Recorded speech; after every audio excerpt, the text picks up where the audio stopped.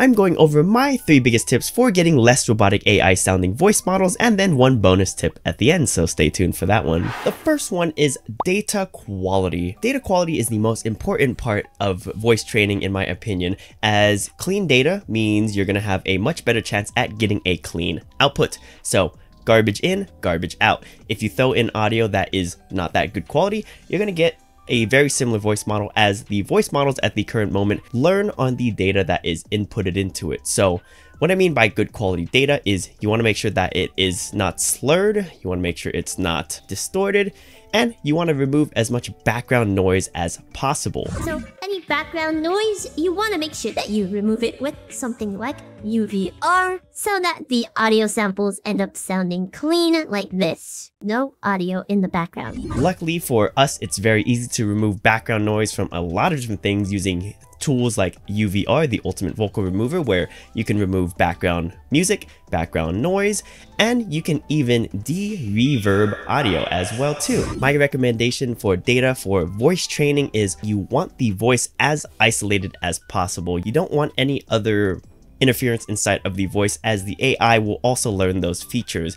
For example, in one of my voices, there is a little bit of background music still in it and it's very faint, but it sounds like clanking. For the Vulkan model that I trained, you can hear a little bit of clinking in the background and that's due to it being present in the input audio and it not being 100% clean. But it still sounds pretty good IMO. And this is due to it still being present inside of the training data. However, unfortunately, it was pretty hard to remove it and the voice model still sounds decent without removing it. And so that does bring up a point like what if you cannot remove certain sounds from audio in the dataset?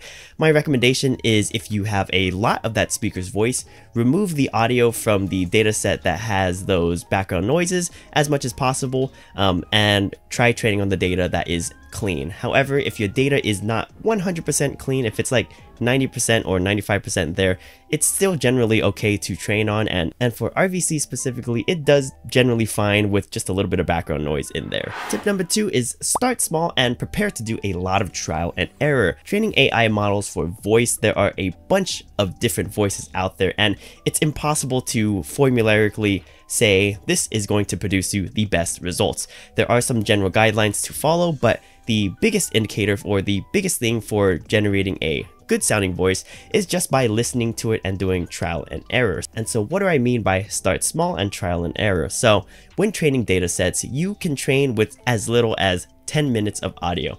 I know for some of my data sets, I choose to train with an hour, two hours, or three hours worth of data. However, for a lot of my models, I first start with 10 minutes of audio. This 10 minutes gives me a window view into how the model might sound if I add more voice samples into it. Um, one thing is that more samples does not always mean a better voice. I like to start small and then run a quick training session on it. The reason I do this is so I don't waste my time trying to train a hour long data set, which is going to take a much longer than 10 minute data set. It's going to take about six times longer to train the 60 minute data set or hour long data set. So, so my recommendation is start small. In the case of RVC, 10 minutes is sufficient. And then after a certain amount of training, you can go ahead and give it a listen. And when you want to give it a listen, that varies as well. But for a 10 minute data set in RVC, my recommendation is, you know, 50, around 50 epochs is just fine for RVC to get a good gist on how a voice sounds. Now you can do more or less depending on what you actually want to do. But for this point, I just really want to iterate that